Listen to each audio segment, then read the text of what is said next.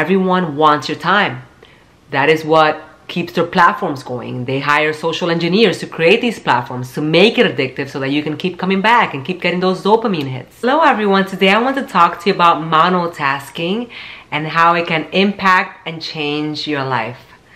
Monotasking is doing one thing at a time instead of multitasking, which is doing multiple things at once or changing really fast between one thing and the other. And before you click away, I want to challenge you to stay to the end. I have seen more and more people with their attention spans becoming smaller and smaller and smaller. And it's due to the fact that more and more people are putting content and there's TikTok which you can watch something for like 10 seconds and then there's shorts and then there's there's so so so much out there and people's attention spans are becoming very very small and also their working memory is being affected as well.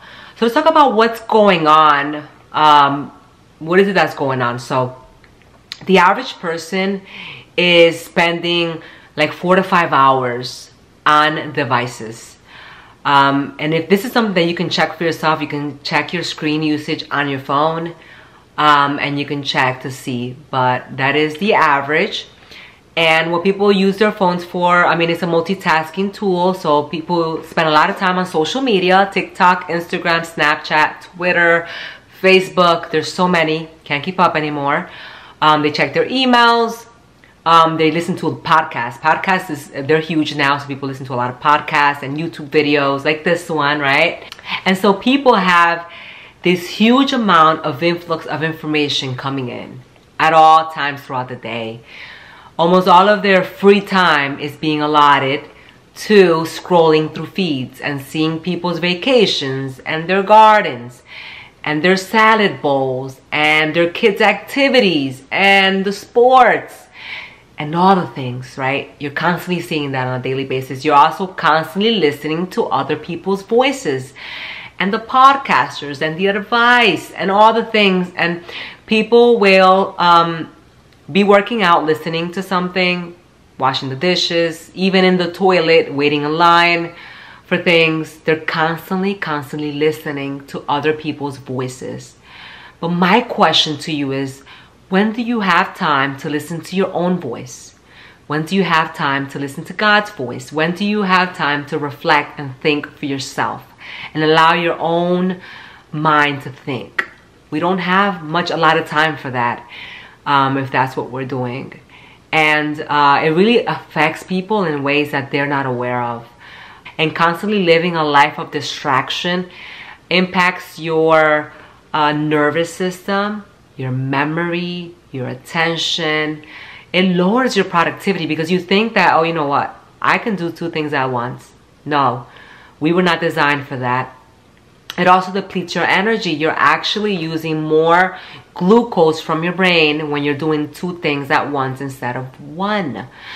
Um, and it really, we really weren't created for it. In fact, uh, we kind of start breaking apart when we try to do two things at once. And I'm going to give you some examples as we go through this video. But um, everyone is competing for your attention.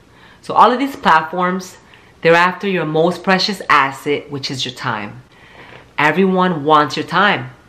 That is what keeps their platforms going. They hire social engineers to create these platforms to make it addictive so that you can keep coming back and keep getting those dopamine hits. And your time is your most precious asset. You can't get back last week. You can't get back this morning. It's gone. You can't buy more time. It is your most precious asset. And can you think about four to five hours a day. What you can do if you had that time back for yourself you can learn an instrument you can learn a language you can go work out you can take up a sport. There's so many things you can do. Um, you can start a business. There's so many things. You can write a book. You can read books. So so many things. But our time is being sucked in to these places without even us realizing that that's really how much time it's taking. But it is really taking that much time so would you like to be more present every day? Would you like to have more energy, more attention, better memory, just feel better all about your life? Well, monotasking is going to help you. Let's talk about what are some things you could do to help with monotasking. So a lot of you guys ask me, how is it that you have five kids, you run multiple businesses, you do the YouTube thing, you write books. How do you do all that? How do you have time to do all that? Well, I had to get rid of a lot of things that I had to say no to. Um, number one, I owe all that I have, all glory be to God. He's the one that helps me through everything that I do. Number two, I have an amazing husband. He's a rock, he's a helper, he's a good man. Um, number three, it's monotasking. It's having scheduled time for things. I'm very overprotective over my time. So for example, for my school schedule, when I'm homeschooling the kids, I am not on a device. I am not listening to a podcast. I am not checking emails. I'm just focused on the kids.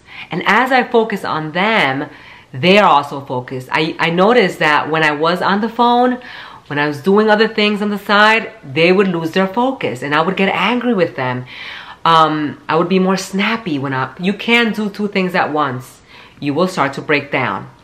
So that's one of the first things that I do. I have a lot of times for things. And when I'm doing those things, I am not bringing in other things that I'm doing on the side. I have scheduled a lot of times for my internet use so that I'm using it on my lot of times.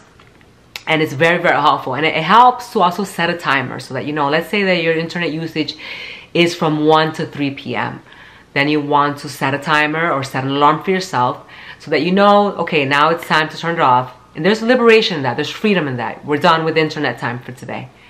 Another thing that I want to share with you guys is that I have a flip phone. It's just a very basic phone. The smartphone is meant to be a multitasking tool. And so you do all these things on there and it's constantly sucking you in. Well, what I did was is that I wanted to separate things out. So I wanted to just have a phone to talk. So I used to use this for call and text. And I text very little on this phone because as you all may know, texting on this phone is hard. So I don't use it very much for that. I call people on the phone. I see people in person, things like that. Um, I found that when I had a smartphone, I was constantly when I, whenever I went anywhere, I, I brought all these things with me that I didn't want to have access to because it, I was living very, very distracted. So now when I go out, I, I if I want to take pictures, I have a camera. Um, I don't have to constantly be checking my email all the time. And it's fine and it's okay to be bored. And it's okay to have some inconveniences because inconveniences lead to growth. I think in this country especially, we are uh, very, very, very comfortable and we don't see discomfort as a tool for growth, but it is. And so a lot of people will shy away from something like this because, oh, they don't have a camera or they don't, they can't listen to their podcast. But you know, it is okay to go without some things. It's okay. It's okay because it leads to growth. Another thing that we do here at home is that we have our computers stationary so they can't move them around. Even our laptop is um, plugged into the ethernet so the kids have to go to that location and use it. Um, that way they're not bringing it to different places and they're not like, let's say I'm gonna bring it to where I'm eating and I'm gonna be watching a video while I eat. We try to stay away from that as much as possible because um, it just doesn't create good habits for the kids. So the, the computer is uh, stationary, is on, on the ethernet. Um, occasionally we will bring it up on the long table for a tutorial, art tutorial that I want them all to see, things like that. But for the most part, they have to be on the computer which is in a particular location in the home. We have two computers in two particular locations in the home. So that's really helpful as well because you can't whenever you can bring the technology with you you're you're being able to stay focused on the task that you're doing at that moment.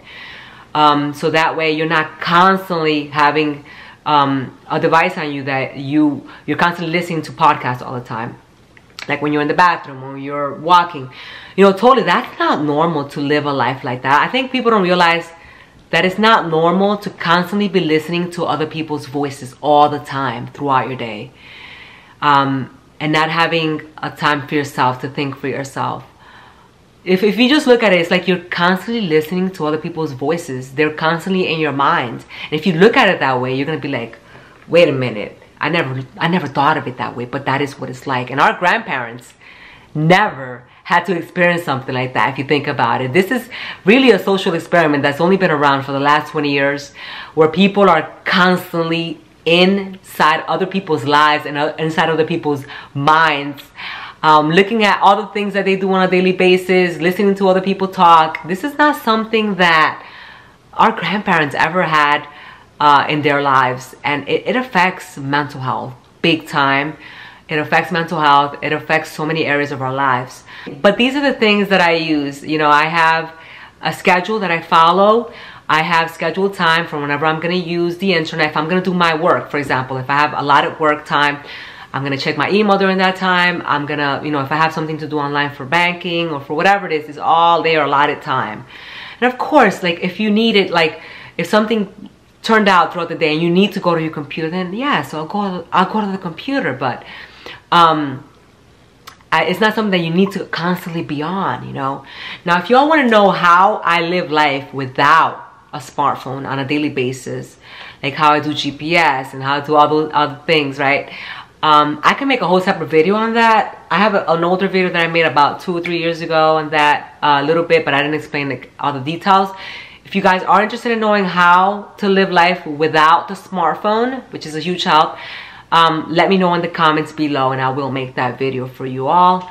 Um, but I hope that this video has been helpful in just even bringing awareness to the fact that people are living distracted lives. Our times are our most precious asset and we only have a certain amount of time on this earth. Let's make it count. Let's do great things. Um, and let's build good relationships with our family, with our children, um, because devices can ruin relationships. They really, really can. I uh, hope you have enjoyed the video. If you want to like see more from me, I don't go on YouTube all as much as I used to before. I work mainly more on my private community now. I have a private community where I work with moms um, and I make private videos for them. And I'll link that community below if you want to join me on there. If not, I'll see you all in the next video. Make sure that you're subscribed so that you don't miss my next video. And I'll see you all in the next video. Bye-bye.